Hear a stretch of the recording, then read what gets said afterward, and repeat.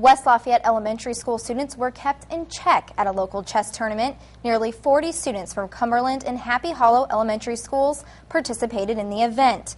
The kids are members of the Cumberland and Happy Hollow Chess Club. Those involved say the club isn't just about learning the game of chess. I believe chess is uh, excellent for the students in their school applications of math and reasoning so they can play the game, master the geometries of the board, and be able to apply their learning to the mathematics of algebra and trigonometry. It's very fun. It's like you're making new friends every single time you play with somebody.